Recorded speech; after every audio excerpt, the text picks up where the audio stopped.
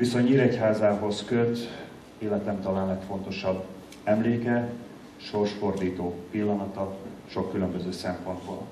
És erről nem is mondok többet, mert hamarosan önök számára is kiderül. Én nem fogom önöket ma este túl sok számadattal untatni. Egyet a legelején engedjenek meg nekem. A világon 204 ország van. Néhány évvel ezelőtt a csináljuk valamit a fotósoknak, imádják, ha mozgok. Tehát így.